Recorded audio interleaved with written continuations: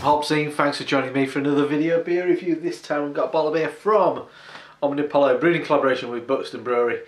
It is their original blueberry slab cake ice cream, 7% ABV.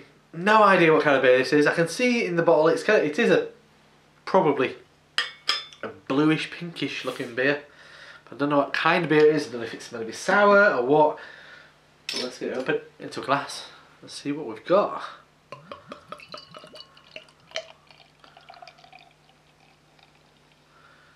Pour all of it. There you go.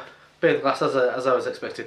Bit darker on camera than it is on uh, is to the eye. I'm going to say like a really dark crimson edging towards purple.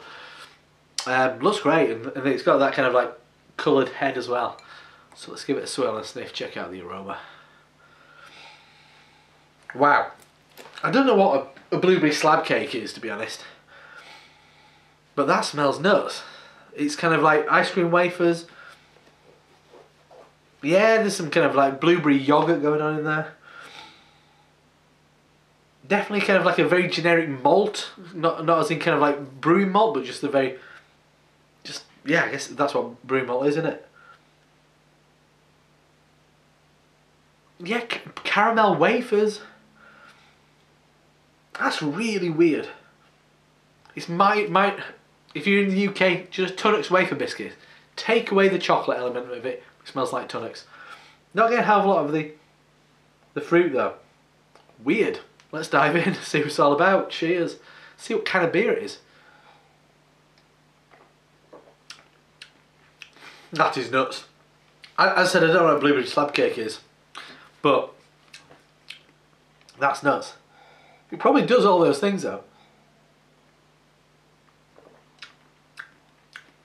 You are getting kind of like a, it's kind of like a Victoria sponge cake. So you're getting um, kind of like a vanilla kind of Madeira cake kind of thing. Definitely getting then you're getting a jammy element which has got a sh certain sharpness to it.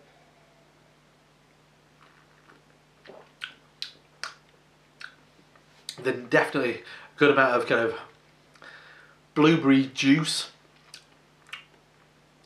And then this kind of wafer biscuit thing keeps wafting around.